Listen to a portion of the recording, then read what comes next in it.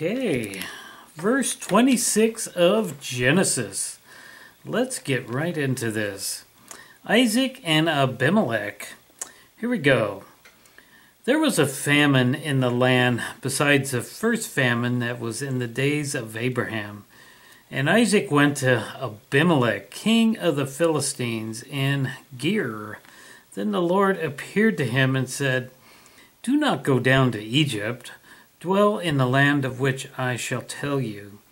Sojourn in this land, and I will be with you and bless you for you and your descendants. I give all these lands. I will perform the oath which I swore to Abraham, your father. Verse 4 And I will make your descendants multiply as the stars of the heaven. I will give to you descendants all these lands in your seed, all the nations of the earth shall be blessed. Verse 5 Because Abraham obeyed my voice and kept my charge, my commandments, my statutes, and my laws.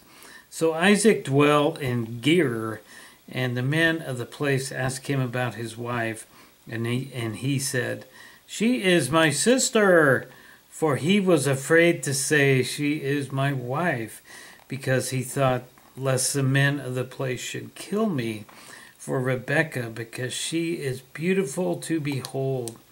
Now it came to pass when he had been there a long time that Abimelech, king of the Philistines, looked through a window and saw there was Isaac showing endearment to Rebekah his wife.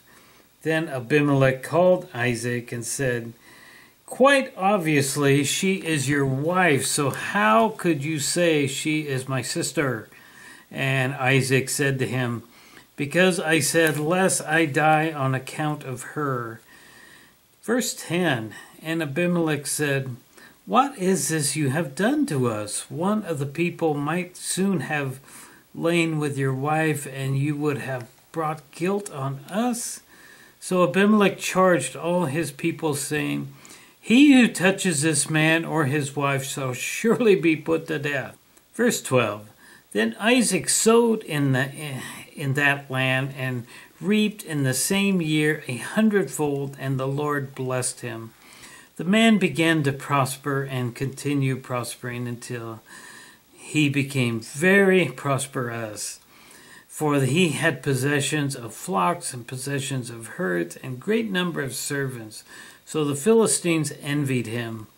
Now the Philistines had stopped up all the wells which his father's servant had dug in the land the days of Abraham, his father, and they had filled them with earth. Verse 16 And Abimelech said to Isaac, Go away from us, for you are much mightier than we. Then Isaac departed from there and pitched his tent in the valley of Gerar and dwelt there. And Isaac dug again the wells of water which they had dug in the days of Abraham his father, for the Philistines had stopped them up, and after the death of Abraham he called them by the names which his father had called them. Verse 19 Also Isaac's servants dug in the valley and found a well of running water there. But the herdsmen of Gerar quarreled with Isaac's herdsmen, saying, This water is ours. So he called the name of the well Esek, because they quarreled with him. Then they dug another well, and they quarreled over that one. Also, he called its name Sitnah. And he moved from there and dug another well, and they did not quarrel over it. So he called its name Rehoboth because he said, For now the Lord has made room for us, and we shall be fruitful in the land. Verse 23 Then he went up from there to Beersheba, and the Lord appeared to him the same night and said, I am the God of your father Abraham. Do not fear, for I am with you. I will bless you and multiply your descendants for my servant Abraham's sake. So he built an altar there and called the name of the Lord and pitched his tent there. There Isaac's servant dug a well. Then Abimelech came to him from Gerar with Ostasno, Ostazuth, one of his friends, and Phichol, the commander of his army. Verse 27 And Isaac said to them, Why have you come to me since you hate me and have sent me away from you?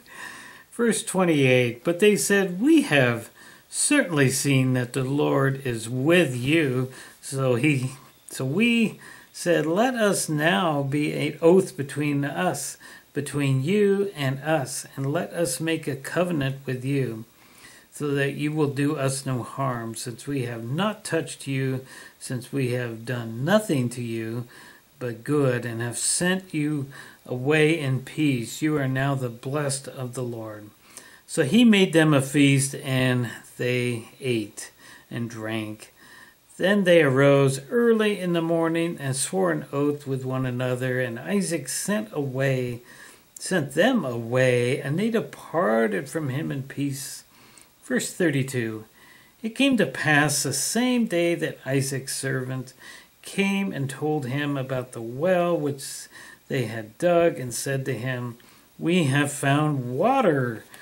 Verse 33 So they called it Shebah Therefore, the name of the city is Beersheba to this day.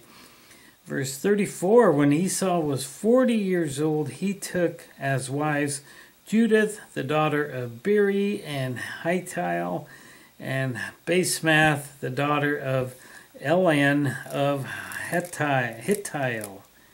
Verse 35 And they were a grief of mind to Isaac and Rebekah. And that is the end of verse 26.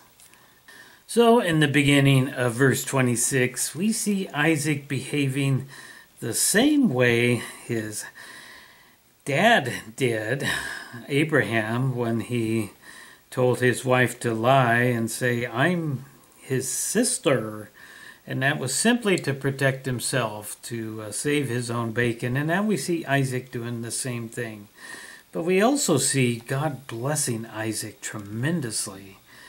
And um, I am not so sure about that, but we see the Philistines are being mentioned here, and Abimelech is, the head of the Philistines, apparently.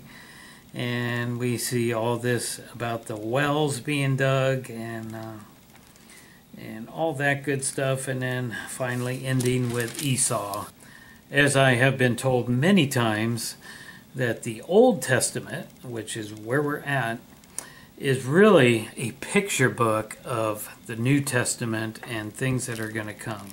It's just one great big picture book. And uh, you can kind of see this. A lot of this stuff is going to come in play later on. And for me, unfortunately, I forget some of this stuff.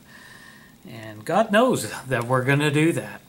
And that's why he intended, that's why he wrote it this way, I'm very sure, so that we would just continue seeking and reading his written word. And it's all going to work out in the end. I absolutely guarantee you that.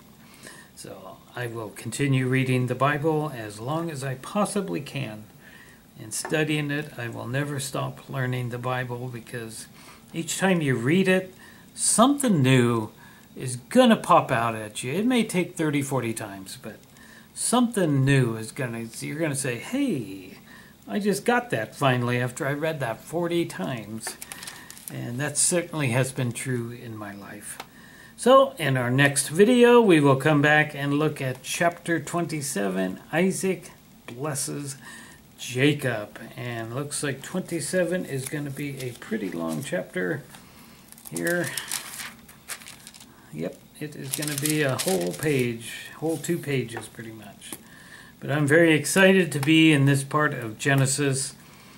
Uh, the story of Abraham, Isaac, and Jacob is certainly a good one, and uh, the covenant is just being passed on down from Abraham, Isaac, and Jacob, and that's exciting because we see that today.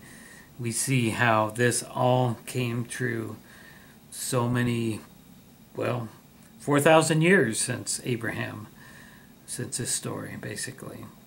And it has all came true. So we will read chapter 7 next time. If you like this video, please like and subscribe.